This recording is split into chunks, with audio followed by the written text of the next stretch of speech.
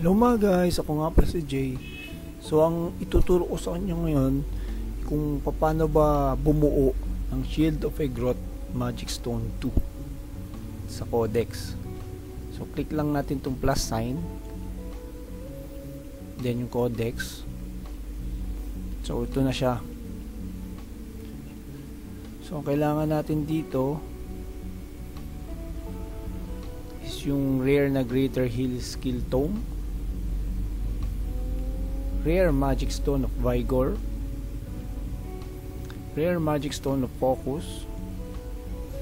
Rare Magic Stone of Growth at Rare Heal Skill Tome.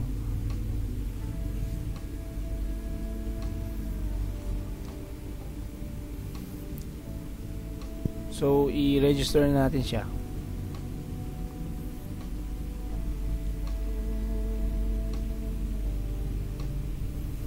So sa mga bago lang dyan dito sa channel ko, paki-like naman, subscribe na rin. Tsaka paki-click na rin ang notification bell para ma-inform kayo pag nag-upload ako ng bagong video.